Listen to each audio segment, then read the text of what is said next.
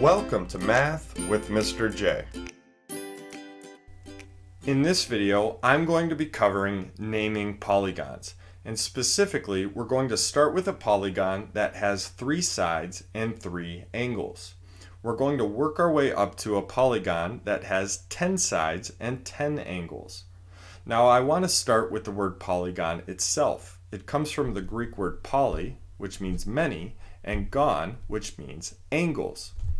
Now, polygons are named by the number of sides and angles they have. So, like I mentioned, we're going to work our way through 3 sides and angles up to 10 sides and angles.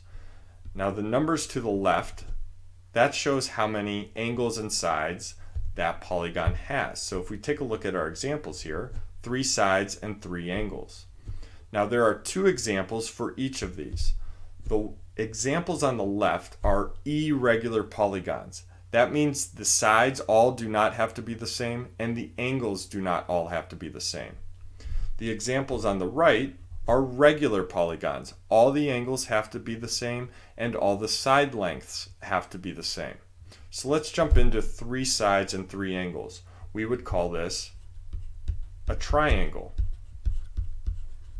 Tri, our prefix here, means three. Let's go to 4. Now you may want to call this a rectangle and this a square, and that's true, that is a rectangle and that is a square, but those are specific quadrilaterals. Quadrilateral includes every uh, polygon with four sides.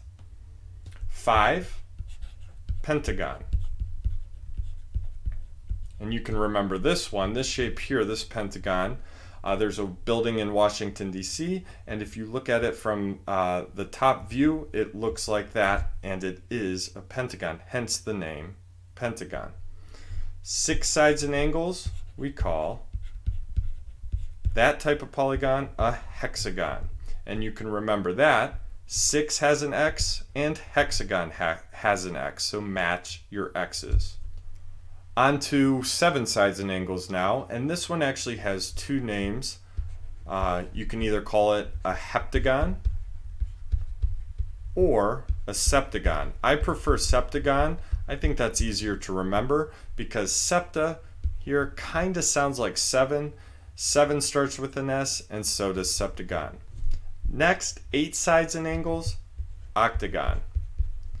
And you can remember this one because it kind of sounds like octopus, which octagon and octopus have eight in common. So that's how you can remember that one. Octa, that prefix, means eight. Nine, nonagon, which kind of sounds like nine. And then lastly, 10 sides and angles, decagon. And you can remember this one because a decade has 10 years and a decagon has 10 sides and angles. Deca means 10. Now, obviously, we can continue going on forever to an 11 sided polygon, 12, 13, 14, so on and so forth. But these are a little more common. Actually, some within this lit, some within this list are more common than others. But there are three sides and angles through 10 sides and angles, and remember, we name polygons by the number of sides and angles they have. Hopefully that helped. Thanks so much for watching. Until next time, peace.